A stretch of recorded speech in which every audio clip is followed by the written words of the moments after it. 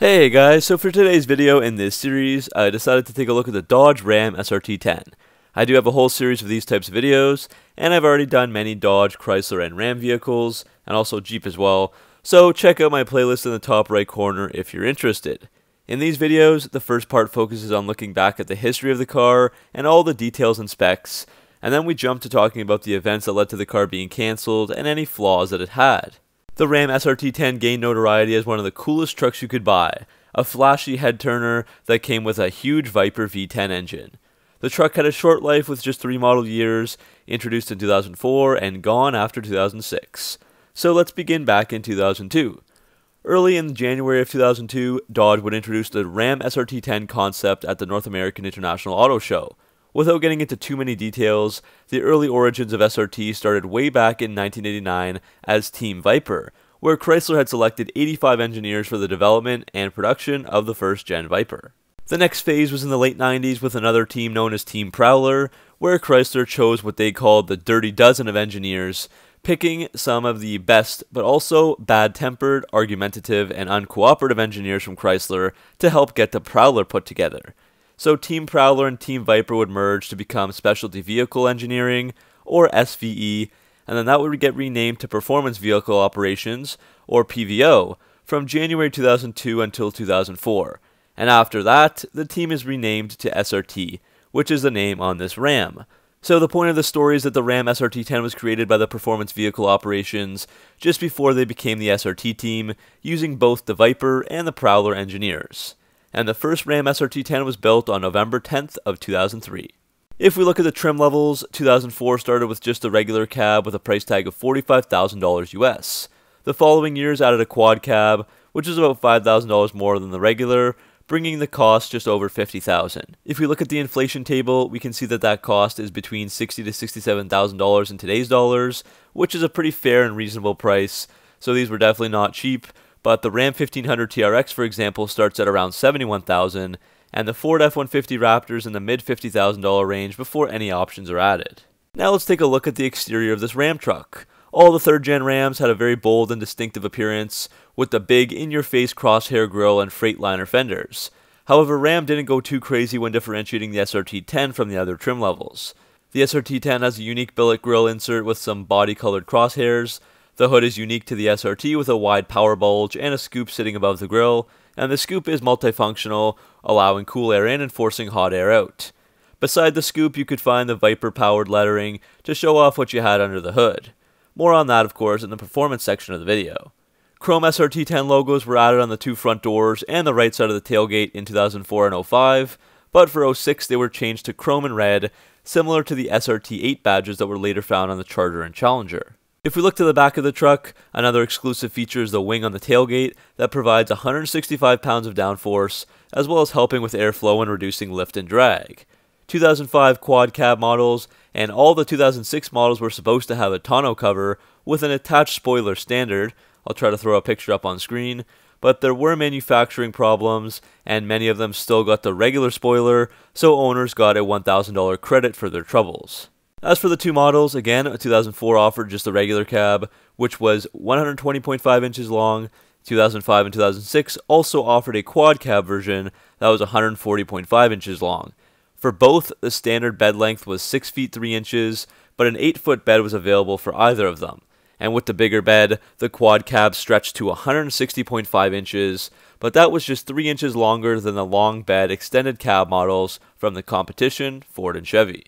Before we move on, we can take a look at some of the colors. So these exclude the special editions. I will talk about those later on in the video, but there were some special editions for the SRT-10, and you might see some of those pictures on screen mixed in as well.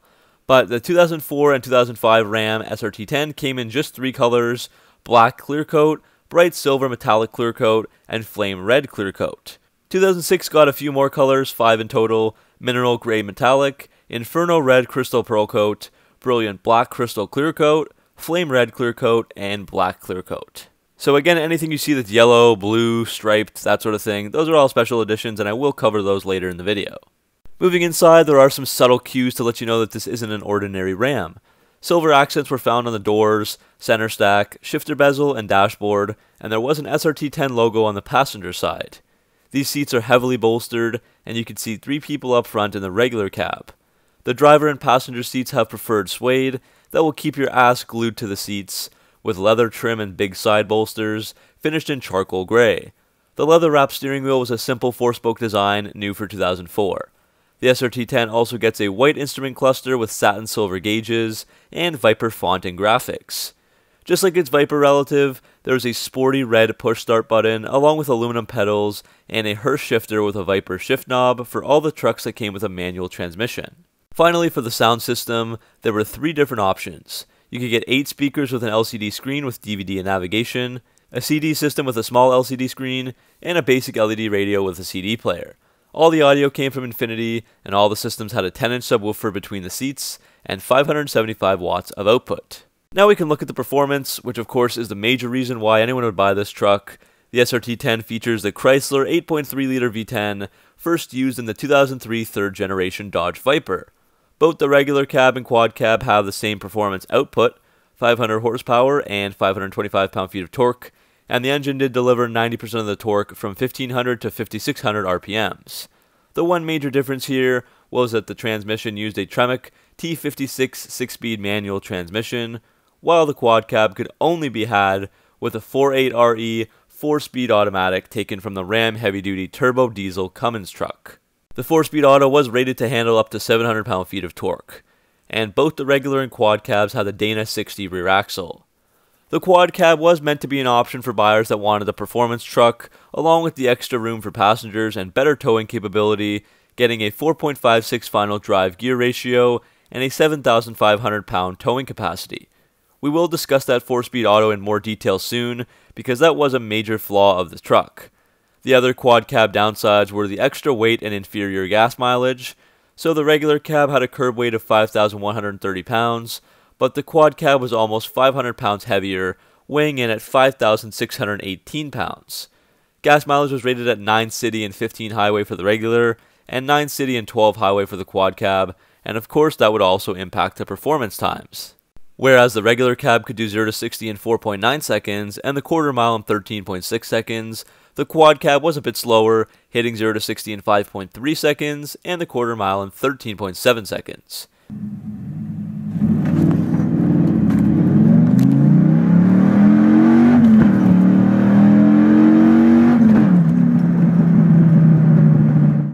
Top speed was also a little bit faster on the regular cab, 154 miles per hour, compared to 147 miles per hour on the quad.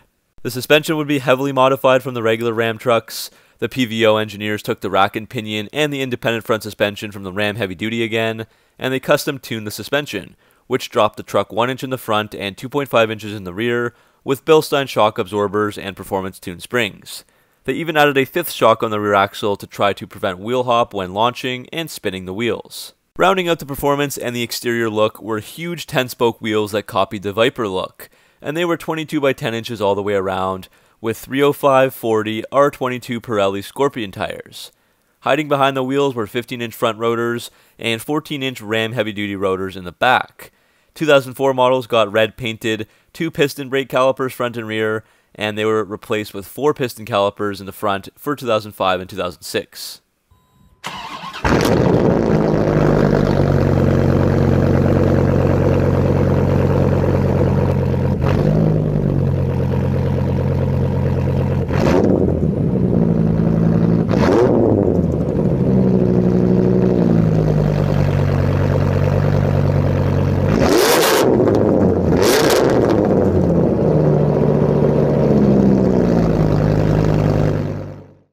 Now, before we move on to the cancellation and flaws, there are a few different interesting things to mention regarding the SRT 10. So, in July of 2004, NASCAR driver Brendan Gaughan set the Guinness World Record and Sports Car Club of America record for the world's fastest production truck, hitting 154.587 miles per hour in a Ram SRT 10. He actually reached even higher speeds of 157.327 miles per hour, but that truck had an illegal exhaust and the record was not allowed to stand. I also want to take a look at some of the rare special editions of this truck. We will cover four of them. The first is the Viper Club of America edition, or VCA, with just 52 produced, but two of those were Chrysler Pace vehicles, and we're not sure where those are now. These were released at the Daytona Motor Speedway race in February of 2004, where people entered into a raffle and the winners of the raffle could purchase the VCA. The winners could also sell the vehicle if they wanted to after purchasing. These look stunning with electric blue paint and white stripes, and the engine was signed by Wolfgang Bernhard, the former COO of Chrysler. As I said, 50 copies were made with a manual transmission, while two were converted into the automatic as the Pace vehicles. In 2005, there was an exclusive Yellow Fever model painted in solar yellow, and they ended up making 497 of those. So these versions had the solar yellow paint and a black stripe on the hood scoop area on the outside.